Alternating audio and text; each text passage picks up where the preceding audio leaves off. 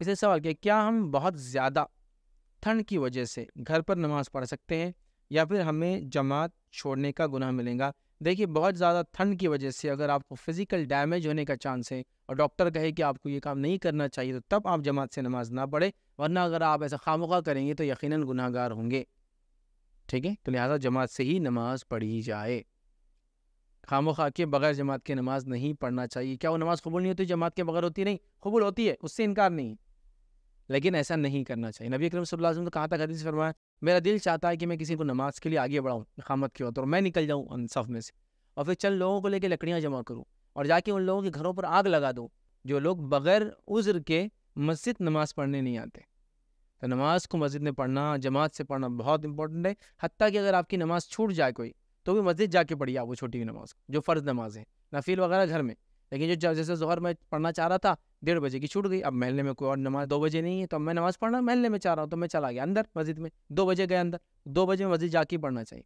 और वो लोग जो कभी कभार होता ना, एक पैंतीस हो गया, एक छत्तीस हो गया, निकले थे तो उनको तो पूरा अजर मिलता मस्जिद जाके नमाज़ पढ़ने का। कैसे? हदीस में अल्फाज है, कोई शख्स नमाज़ के लिए मस्जिद में आए और पता चले नमाज़ हो जाए तो उसको नमाज़ बाजमात का ही सवाब है। तो जैसा मैंने वज़ू किया, अभी लग रहा है कि एक चौंतीस हो गया, लेकिन दो मिनट में पहुँच जाऊँगा और सैंतीस तक चलती है चले जाओ। मिले ना मिले सवाब पूरा आपके लिए जमात का क्यों? तो आप उसी नीयत से दाखिल हुए। अब बहुत से लोग ऐसा, अरे, अब बत्तीस हो गया, अब नहीं मिलती अब। अरे, जाओ। नीयत से जाओ तो सही, मिल गई, जो भी मिली, नहीं भी मिली तो अजर तो है ना उसका कि तुम नीयत से आए तो पूरा अजर है। तो पढ़ना चाहिए तो लिहाजा बिना वजह आप ऐसा ना करें।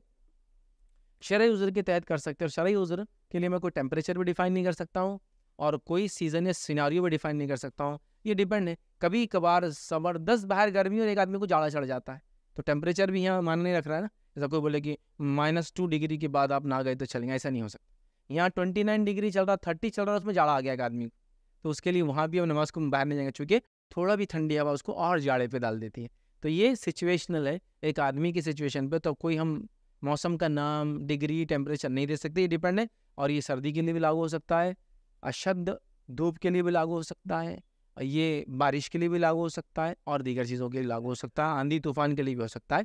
तो ये सब डिपेंड वाली चीज़ें आप वहाँ देखें और सिचुएशनल है, वहाँ पूछे तो अगर आपको ज़ाती तौर से सर्दी की वजह से नहीं आ सकते तो आप पहले ये शरा यूज़ रह कर देखें और उसके बाद हो सकता है। जैसे मिसाल के तौर पर आप ऐसे इलाके में जहाँ बर्फ़ गिरती हो, बर्फ़ गिरती हो, अभी मैं हाल में जो है एक सफ़र पे था तो हमारे कुछ दोस्त थे जो कनाडा वगैरह से और यूएस कनाडा बॉर्डर्स पे जो लोग रहते वो आए थे। तो जब हम लोग मुलाकात हुई मक्का में तो ऐसे डिस्कशन निकला तो ये दो चार पाँच लोग नहीं आ पाए थे।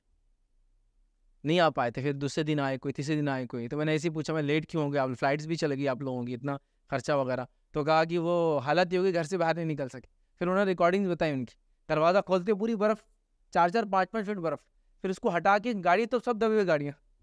फिर निकल के, फिर वहाँ से निकल के हम गए एयरपोर्ट जाने तक। फ़्लाइट छूट गई दो दिन बाद आए, तीन दिन बाद आए। तो देखिए कितना सख्त मौसम है ना। वैसे मौसम को बोल सकता हाँ भाई, ये तो बर्फ़ ऐसी कि दरवाजे नहीं खोल सकते आप घर के।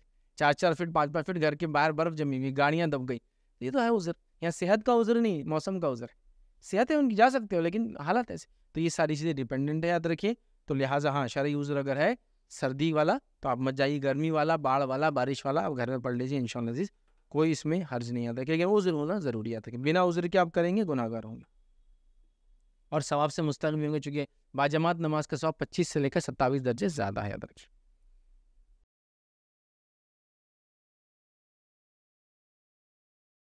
वालेकुम आप भी हमारे इस काम में ताउन करें, अपनी ज़कात के ज़रिए डोनेशन डिटेल्स के लिए डोनेट पर क्लिक करें। अगर आपको हमारे वीडियो पसंद आए हैं तो इसे शेयर करें और सबके हकदार बने। रोज़ाना हमारे वीडियो को पाने के लिए हमारे यूट्यूब चैनल को सब्सक्राइब करें और बेल आइकन दबाएँ। हम सीधे सोशल मीडिया पर जुड़ने के लिए वीडियो में दिए गए आईडी को सर्च करें। जजाकल्लाह